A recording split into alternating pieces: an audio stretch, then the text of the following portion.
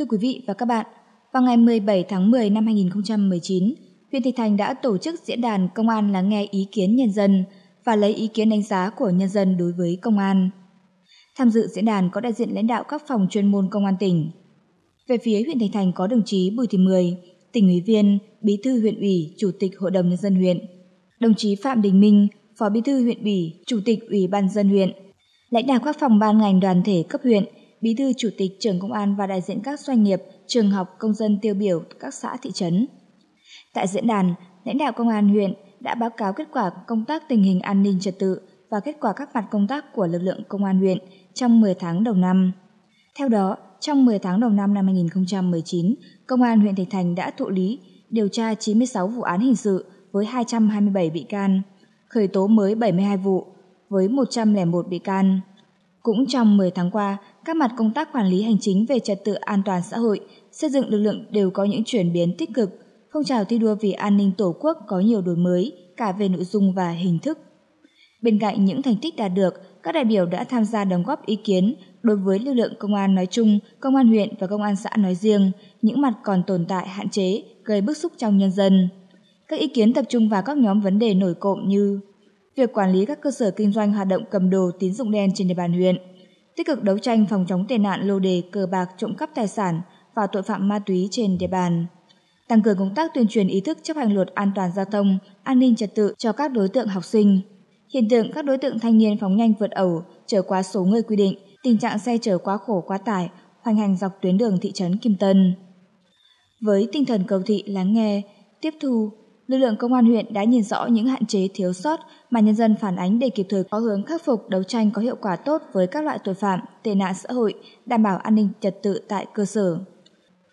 Phát biểu tại diễn đàn, đồng chí Phạm Đình Minh, Phó Bí thư huyện ủy, Chủ tịch Ủy ban dân huyện đã ghi nhận biểu dương những thành tích mà lực lượng công an huyện, công an các xã thị trấn đã đạt được trong thời gian qua. Đồng thời, đồng chí yêu cầu trong thời gian tới, lực lượng công an trong toàn huyện cần tiếp tục đổi mới công tác giáo dục chính trị tư tưởng, xây dựng lực lượng công an trong sạch vững mạnh, thực sự bản lĩnh nhân văn vì nhân dân phục vụ. Tăng cường phối hợp với các ban ngành đoàn thể trong việc đẩy mạnh xây dựng phong trào toàn dân bảo vệ an ninh Tổ quốc, cải cách thủ tục hành chính, nâng cao tinh thần trách nhiệm, thái độ phục vụ nhân dân của lực lượng công an. Nhân dịp này, huyện Thạch Thành đã trao tặng bằng khen và phần thưởng cho các cá nhân và tập thể đã có thành tích xuất sắc trong nhiệm vụ đấu tranh phòng chống tội phạm thời gian qua. Thưa quý vị và các bạn, vào ngày 23 tháng 10 năm 2019, Hội Nông dân tỉnh phối hợp với Ban xã hội Trung ương Hội Nông dân Việt Nam tổ chức tuyên truyền về sản xuất kinh doanh nông sản, đảm bảo an toàn thực phẩm cho hơn 200 lượt cán bộ hội cơ sở, chi tổ hội, hội viên nông dân nòng cốt tại huyện Thạch Thành. Tham dự có đại diện Trung ương Hội Nông dân Việt Nam, đại diện Hội Nông dân tỉnh. Về phía huyện Thạch Thành, tham dự có đồng chí Phạm Trọng Dũng, Phó Bí thư Thường trực huyện ủy, đại diện lãnh đạo Hội Nông dân huyện và các ban ngành có liên quan. Tại hội nghị, các đại biểu đã được thông qua các nội dung như các mối nguy về an toàn thực phẩm, các văn bản quy phạm pháp luật về an toàn thực phẩm, đảm bảo an toàn thực phẩm trong chuỗi sản xuất kinh doanh thực phẩm, quy trình sản xuất nông sản thực phẩm an toàn theo tiêu chuẩn Việt Gáp, khoa học công nghệ mới, kỹ thuật sử dụng thuốc bảo vệ thực vật, phân bón, thức ăn chăn nuôi, bảo quản chế biến tiêu dùng vệ sinh an toàn thực phẩm, phổ biến các kiến thức kỹ năng tuyên truyền, vận động cán bộ hội viên nông dân thực hiện đảm bảo an toàn thực phẩm. Thông qua lớp tuyên truyền giúp cho cán bộ hội viên nông dân có ý thức và trách nhiệm trong việc tuân thủ các điều kiện đảm bảo an toàn thực phẩm, cam kết sản xuất kinh doanh nông sản, thực phẩm an toàn. Với những kiến thức tiếp thu được, các học viên là những tuyên truyền viên tích cực về sản xuất thực phẩm an toàn ở chính gia đình cũng như địa phương. Thưa quý vị và các bạn, vào ngày 18 tháng 10, Đoàn công tác Trung ương Hội Nông dân Việt Nam do đồng chí Thảo Xuân Sùng, Ủy viên Trung ương Đảng, Chủ tịch Trung ương Hội Nông dân Việt Nam làm trưởng đoàn, đã có buổi làm việc tại xã Thành Tâm, huyện Thạch Thành. Sự buổi làm việc về phía tỉnh có đồng chí Trịnh Tuấn Sinh, Ủy viên Ban Thường vụ tỉnh ủy, Bí thư Đảng ủy khối các cơ quan tỉnh, đồng chí Trần Bình Quân, Ủy viên Ban chấp hành Trung ương Hội Nông dân Việt Nam, Chủ tịch Hội Nông dân tỉnh. Tiếp vào làm việc với đoàn về phía huyện Thành Thành có đồng chí Phạm Trọng Dũng, Phó Bí thư Thường trực huyện ủy, đồng chí Phạm Đình Minh, Phó Bí thư huyện ủy, Chủ tịch Ủy ban dân huyện, cùng các đồng chí đại diện các ban ngành cấp huyện.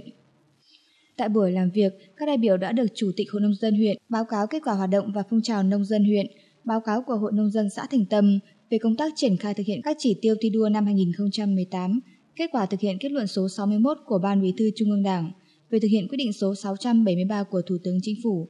kết quả chất lượng sinh hoạt tri hội, chất lượng hội viên, công tác quản lý sử dụng nguồn vốn vay ủy thác thông qua quỹ hỗ trợ nông dân, ngân hàng chính sách xã hội, công tác kiểm tra giám sát của hội năm 2018. Đoàn cũng lắng nghe ý kiến đề xuất kiến nghị như tăng nguồn vốn hỗ trợ cho nông dân, tập huấn cho nông dân các phương pháp khoa học kỹ thuật, hỗ trợ nông dân có biển chỉ dẫn địa lý thương hiệu và có chính sách tiêu thụ sản phẩm tại địa phương. Từ đó đưa nền nông nghiệp xã nhà ngày càng phát triển. Phát biểu tại buổi làm việc, đồng chí Thảo Xuân Sùng, Ủy viên Ban chấp hành Trung ương Đảng, Chủ tịch Hội nông dân Việt Nam đã ghi nhận những kết quả đạt được và chia sẻ ý kiến của các đại biểu và mong muốn Đảng bộ huyện cố gắng đạt 19 tiêu chí huy động nguồn lực vốn về xây dựng nông thôn mới. Đồng chí cũng đề nghị trong thời gian tới, Hội nông dân huyện tiếp tục đổi mới các phương thức hoạt động, hình thành chuỗi sản xuất và tiêu thụ, giả soát lại cơ cấu loại bỏ cây kém hiệu quả, đưa các loại cây phù hợp vào phát triển nhằm làm điểm tựa vững chắc cho hội viên nông dân và thu hút nhiều nông dân tham gia vào hội, đẩy mạnh phong trào nông dân thi đua sản xuất kinh doanh giỏi, giúp nhau giảm nghèo, tập trung có trọng tâm trọng điểm trong công tác xây dựng nông thôn mới, kêu gọi người dân và doanh nghiệp tham gia vào tổ hợp tác, hợp tác xã và hỗ trợ việc làm cho nông dân, thực hiện thắng lợi các mục tiêu phát triển kinh tế xã hội tại địa phương. Trước đó, đoàn đã đi thăm thực tế một số mô hình phát triển sản xuất và xây dựng nông thôn mới tại thôn Yên Thịnh, xã Thành Tâm. Thưa quý vị, thưa các bạn, vào ngày 24 tháng 10, Ủy ban Nhân dân huyện Thạch Thành đã họp bàn về công tác chuẩn bị tổ chức Ngày hội Văn hóa Thể thao Du lịch, công bố giới thiệu điểm du lịch và sản phẩm tiêu biểu huyện Thạch Thành năm 2019.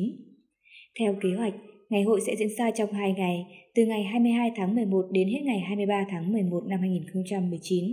tại sân vận động Trung tâm Văn hóa Thể dục Thể thao huyện với nhiều hoạt động ý nghĩa. Các nội dung chính của ngày hội gồm lễ khai mạc Ngày hội Văn hóa, Thể thao, Du lịch, công bố giới thiệu điểm du lịch và sản phẩm tiêu biểu huyện Thạch Thành. Cuộc thi ảnh khoảnh khắc Thạch Thành, tổ chức hội nghị xúc tiến quảng bá điểm đến du lịch Thạch Thành, tổ chức đoàn farm trip khảo sát đánh giá tiềm năng phát triển du lịch, tổ chức cắm trại trang trí trưng bày giới thiệu sản phẩm văn hóa du lịch đặc trưng của địa phương, tổ chức gian hàng trưng bày giới thiệu các sản phẩm tiêu biểu huyện, thi một số môn thể thao dân tộc và trò chơi dân gian, liên hoan tiếng hát dân ca. Việc tổ chức ngày hội nhằm tôn vinh những giá trị văn hóa truyền thống tốt đẹp của các dân tộc trong huyện là dịp để các nghệ nhân, diễn viên, và động viên quần chúng gặp gỡ giao lưu trao đổi kinh nghiệm, nâng cao nhận thức, ý thức trong việc bảo tồn, phát huy các giá trị văn hóa truyền thống trong thời kỳ hội nhập và phát triển. Qua đó, nhằm tuyên truyền quảng bá với các doanh nghiệp, du khách trong và ngoài nước về tiềm năng lợi thế của huyện Thạch Thành, thu hút đầu tư vào lĩnh vực du lịch, tạo động lực đẩy mạnh xúc tiến đầu tư, đẩy nhanh quá trình xây dựng các khu du lịch trọng điểm của huyện. Thưa quý vị, với chất lượng gạo thơm ngon và giàu chất dinh dưỡng,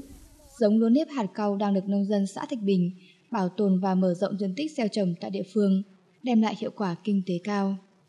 Nếp hạt cau là giống lúa được bà con nông dân xã Thạch Bình gieo trồng từ xa xưa. Trước đây giống lúa này chỉ được trồng theo phương pháp truyền thống và chỉ để sử dụng trong gia đình vào các ngày lễ Tết.